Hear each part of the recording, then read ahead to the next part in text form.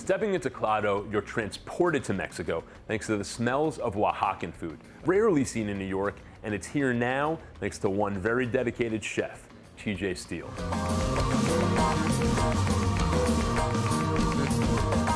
How does a guy from New Jersey end up opening a Mexican restaurant and running a mezcal company in the middle of Brooklyn? I like food and adventure. Graduated culinary school, and a buddy of mine decided to travel around Mexico. And when I got to Oaxaca, had one or two mezcals, and decided I needed to find out a little bit more about it. A lot of other people have started this story, had a couple mezcals in Mexico. You might never have seen them again, but your story actually went somewhere really cool. Started knocking on people's doors that made mezcal, and the particular day that we showed up to this family's house, they produce mezcal three times a year, and we showed up on one of those three days. So the oldest member of the family was swearing that we were sent by God to, to help them. And the rest is history. Now you have your own mezcal company, El Buho. Yes, now here I am back in the culinary side of it. And that's what's so exciting about Claro. You're bringing this Oaxacan flavor to New York. I mean, maybe it was selfish that I just wanted to eat it here, so I made it, but I think that people were being shortchanged by not having that here.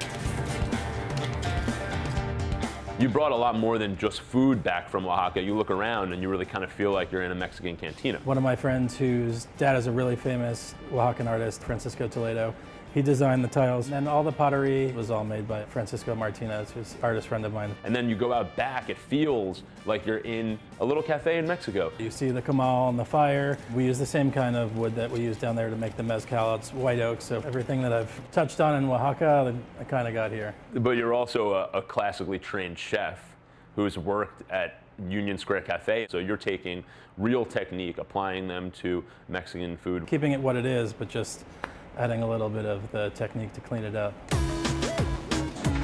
Now you can't talk about Oaxaca without talking about masa, which is the beautiful corn dough that makes tortillas, tamales. You guys are bringing corn up from Oaxaca. We cook it in water.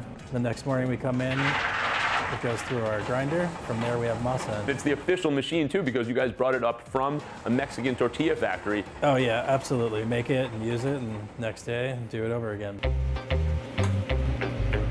If you're gonna talk about Oaxaca, you have to talk about mole. And you guys serve this beautiful mole rojo that is nothing like the chocolatey sweet mole poblano most New Yorkers consider mole. It's cool. It showcases a lot of different spices, fruits, nuts, all those nice toasted spices that are in there. It's really soothing, hearty, savory. This recipe came from the mother of the family that makes our mezcal. They were actually even here in New York right when we opened, giving us some tips on making it the way they like it. But she was um, more concerned with that we got a broomstick to cut to stir our corn. And like you said, authenticity, man.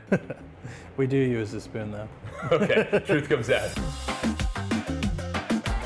Speaking of authentic dishes, you guys have a winter salad here that has a vinaigrette on it called chapulina. Chapulina also means grasshopper. Correct. So in Oaxaca, grasshoppers are a big thing. For me, the flavor is very salty, kind of like a olive or a caper. People come in and have the salad and they're like, that was so good, I don't care. Well, if you want to try one of Oaxaca's best masa snacks, has to be memelas. Yeah, memelas are one of my favorite dishes. Let's get in the kitchen and make one. Cool, let's do it. Today we're making the chorizo memela. We have chorizo, we have beans, we have pork fat. This all got cooked up on the grill, and now we're just gonna finish it off with what? We're gonna add a little queso fresco that we made here in-house. Get messy, make it rain. More on the memela, less on the plate. We're gonna give it a little Oaxacan style salsa verde. Look at that green. We're just gonna add a little cilantro on top. Beautiful flavor. You get the cheese first, and then that melts right away because that chorizo comes right back through, rounds it out with that beautiful salsa verde, the purest corn flavor I've ever tasted in New York. Well done, my friend, well done. Thank you.